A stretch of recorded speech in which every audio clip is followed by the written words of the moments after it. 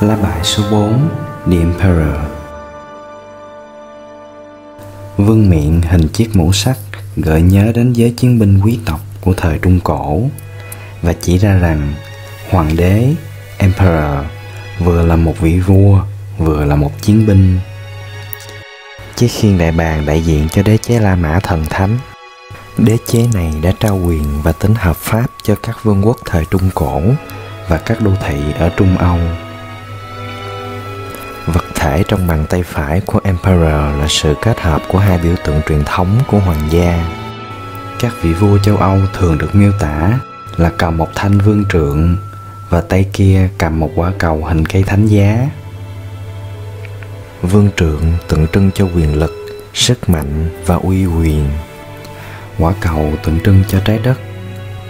Và cây thánh giá phía trên nó cho thấy sự cai trị trần thế, phụ thuộc vào luật của cơ đốc giáo hoặc các quy luật tâm linh.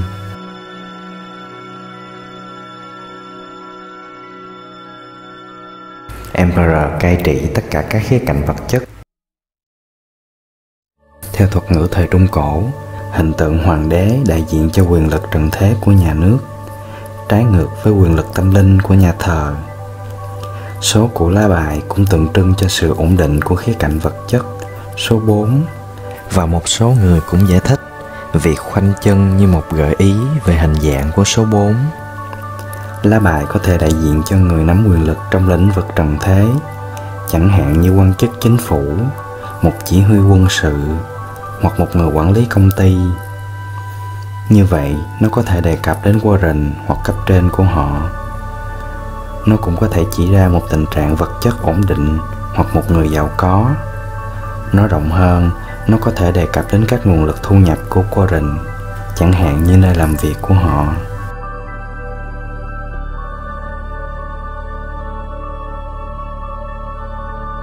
Emperor áp đặt ý chí của mình.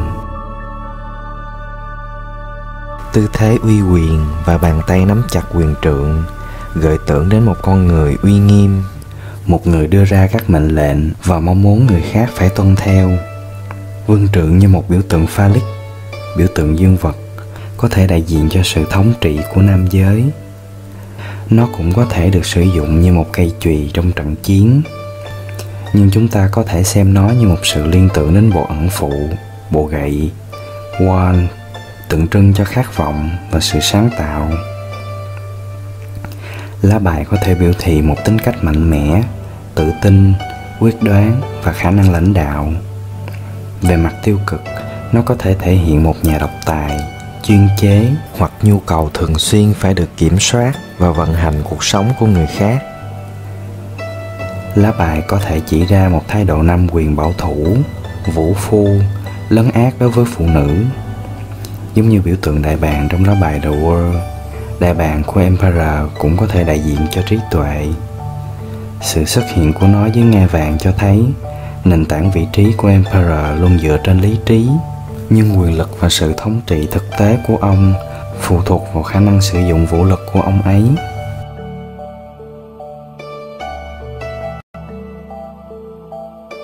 Emperor là người cha trần thế quyền lực tính nam của Emperor có thể tượng trưng cho hình ảnh người cha truyền thống. Như trong lá bài Impress, chiếc khiên đại bàng có thể đại diện cho gia đình.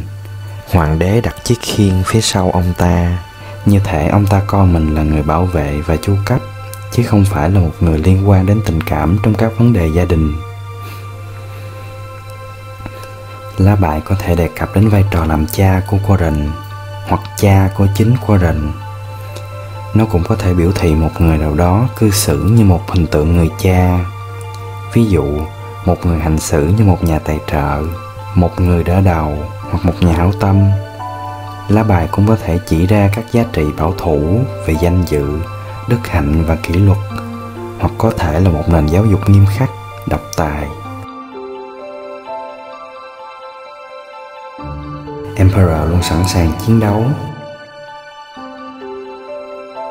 Chiếc mũ quân sự bằng sắt và chiếc vương trượng nắm chặt, với nắm tay khép lại, như thể ông ta sẵn sàng tung ra nắm đấm mang đến cho lá bài một tính cách cứng rắn và giống như một chiến binh. Tư thế ngồi của ông cũng không được thư thái. Ông ấy trông như thể sẵn sàng đứng dậy và chiến đấu bất cứ lúc nào. Lá bài có thể thể hiện sự quyết tâm, quyết đoán, tự tin và sẵn sàng chiến đấu và bảo vệ nền tảng, lãnh thổ của ông. Nó cũng có thể thể hiện thái độ hiếu chiến và hung hăng hoặc tượng trưng cho một người nào đó dễ bị khiêu khích và dễ nổi giận. Lá bài cũng có thể đề cập đến các vấn đề liên quan đến an ninh và quân sự. Tư thế ngồi căng thẳng có thể cho thấy sự sợ hãi đối với kẻ thù thật sự hoặc kẻ thù tưởng tượng. Điều khiến Warren luôn đề phòng.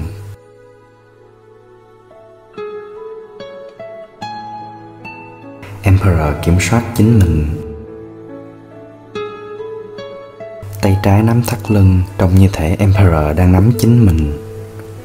Người ta cũng có thể thấy một ý nghĩa tương tự trong tư thế bắt chéo chân, như thể chân bên phải đang cản chân bên trái. Trong các bức tranh về các vị vua đầu thời trung cổ, việc bắt chéo chân cho thấy một vị vua đóng vai trò như một thẩm phán hoặc một người tuyên luật, một tình huống đòi hỏi kỷ luật và tự chủ cây thánh giá phía trên quả cầu và phương trượng cũng cho thấy việc đặt các giá trị tinh thần và đạo đức lên trên những ham muốn cá nhân. Theo các quy tắc truyền thống của giới quý tộc về danh dự, quyền lực lãnh đạo của hoàng đế được cho là dựa trên kỷ luật tự giác và những hành vi không bao giờ mắc lỗi. Nhưng ta có thể hiểu động tác khoanh chân như một sự tắc nghẽn. Chúng ta cũng có thể liên kết nó thêm với ánh nhìn sang trái quyền thống trị của hoàng đế dựa trên những thành tựu trong quá khứ, thường là của những người tiền nhiệm của ông. Vì vậy, thái độ của ông chủ yếu là bảo thủ. Rất khó để ông ta phải từ bỏ những lợi thế về địa vị của mình và tiến lên phía trước.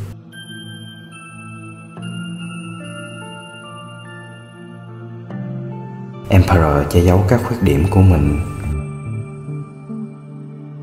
nếu chỉ nhìn vào phần trên bên trái của lá bài, chúng ta sẽ thấy các hình dạng phản ánh rõ quyền lực và sự kiểm soát của hoàng đế. Nhưng ở phía bên phải, các đường nét trông tròn hơn và các đường viền của mặt đất không thể hiện rõ ràng. Phần dưới của chiếc khiên, thậm chí trông như đang được đặt trên một cái lỗ ở trên mặt đất. Người ta có thể giải thích điều này như biểu thị vực thẳm hoặc vực sâu của tâm hồn nó cũng có thể đại diện cho sự mềm mại và dễ bị tổn thương, vulnerable, không được thể hiện ra ngoài mặt.